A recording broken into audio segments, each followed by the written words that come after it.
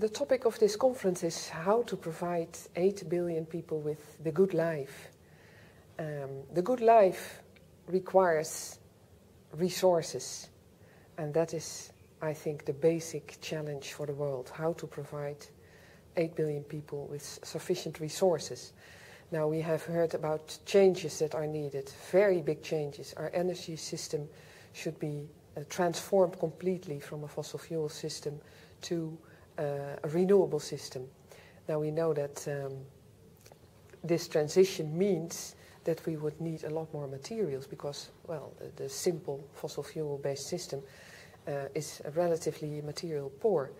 Um, so we need more materials to provide our future energy sustainably.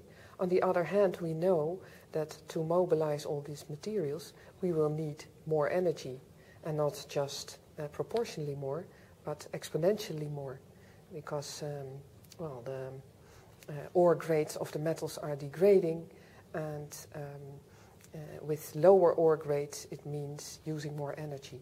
Similar things we can see in providing the world with water to um, let 8 billion people have drinking water and uh, sufficient sanity, it requires materials, it requires energy.